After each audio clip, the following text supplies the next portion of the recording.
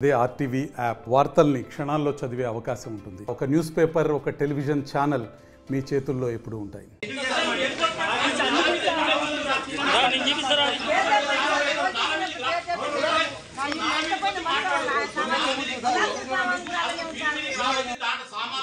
ఎవరి చెడ్డ పేరు తీసుకురావాలని మీరు పది. గజాల స్థలంలో నువ్వు కొట్టి గవర్నమెంట్ పని చేయొద్దని చెప్తారు మీరు. మరి నువ్వు- చదువురా అన్ని చదువురా అన్ని అన్ని చదువు ఆ గవర్నమెంట్ అన్ని చదువురా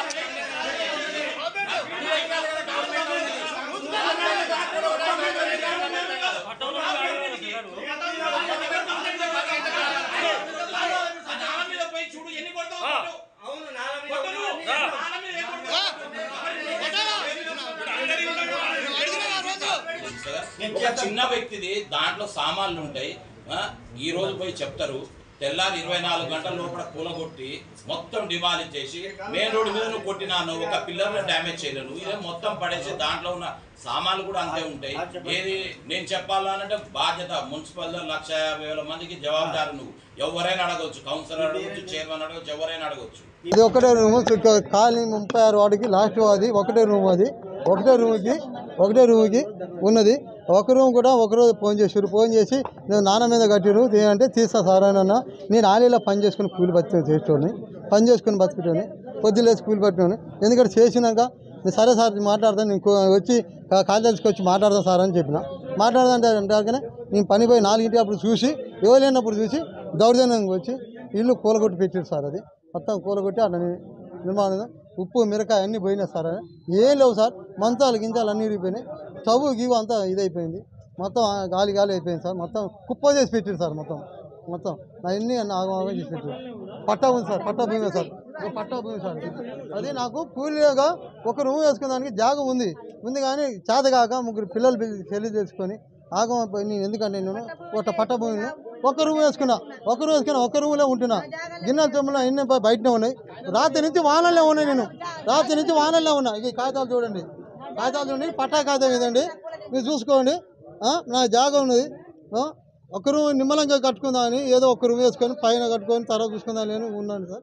నీకు పని పైన చూసి కూలగొట్టింది సార్.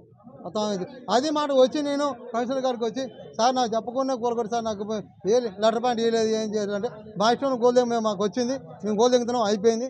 మేము గోల్ కొట్టినాం. నేను మా- మాట్లాడితే మాత్రం నీ మీద కేసు పెడతా అని నువ్వు బయటకు వెళ్తా వెళ్ళవా నీ కేసు పెడతా నీ మీద అని మాట్లాడింది సార్ రాత్రి. కమిషనర్ గారు. కమిషనర్ గారు అయితే నీ మీద కేసు పెడతాను మాట్లాడాడు. దౌర్జన్యంగా అసలు. నన్ను అందరూ బయటకు వెళ్ళి బయటకు వెళ్ళని మాట్లాడింది సార్ నన్ను. ఒక మాట్లాడడానికి వచ్చినా నా ఇల్లు పోయిందా దాని వచ్చినా కానీ బయటకు వెళ్ళని మాట్లాడింది సార్ నన్ను. ఘోరంగా మాట్లాడు. నా మీదనే నాకు ఇల్లు అదే రూమ్ రూమ్ కట్టించి నాకు ఇవ్వాలి సార్ వాళ్ళు. నాకు ఎట్ట పోయిందో అట్టే రూమ్ కట్టించి నాకు ఇచ్చేయాలి సార్ అది అది. కుక్కలు కొట్టింది కాదు.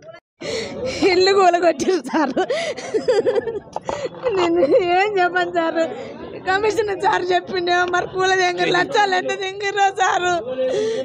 నా పూలేదు వెళ్ళలేదు సార్. పొద్దున్న నుంచి ఏడ్చుకుంటూ నన్ను నుంచి. మా తిండి లేదు తిప్పలేదు సార్. మేము కూర్చున్నాం సార్ అట్టనే.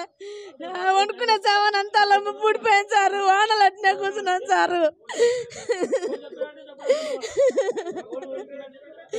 వాళ్ళు కూల దగ్గర నా ఇల్లు ఒకటే కూల దగ్గర సార్. ఎవరు చెప్పారు కూల దగ్గర అంటే చెప్పట్లేదు సారు.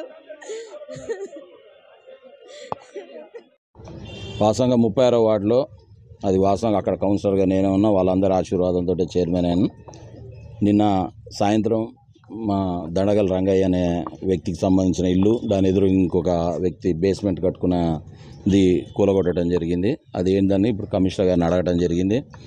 ఆయన ఏమంటుండంటే నాల నాలా మీద ఉంది నాలా మీద ఉంది కాబట్టి కట్టినాం అంటున్నాను. వాస్తవం కూడా అన్ని ప్రాంతాలు విజిట్ చేసి ఇది చాలా అన్యాయమైనది. ఇది ఎప్పుడో పన్నెండు సంవత్సరాల క్రితం కట్టిన రూము. దానికి ఇప్పుడు కమిషనర్ గారు కూడా ఒక అర్ధ గంటలో వచ్చి విజిట్ చేస్తున్నాడు వచ్చి రంగయ్య గారికి ఎటువంటి నష్టం జరగకుండా నష్టం ఏం చేయాలన్నది ఇప్పుడు అంతే గౌరవ ఎమ్మెల్యే గారి దగ్గర కూడా ఆయనతో కూడా మాట్లాడి ఇట్లా ఊర్లో ఉన్న పరిస్థితి అంతా చెప్పి వారి సలహా కూడా తీసుకొని కమిషనర్ గారితో మాట్లాడి రంగయ్యకి ఎటువంటి నష్టం జరగకుండా చూసే ప్రయత్నం చేస్తాం. మరిన్ని వీడియోస్ కోసం ఛానల్ సబ్స్క్రైబ్ చేయండి. లేటెస్ట్ అప్డేట్స్ కోసం వాట్సాప్ ఛానల్ ఫాలో చేయండి. అండ్ లింక్ డిస్క్రిప్షన్లో ఉంది.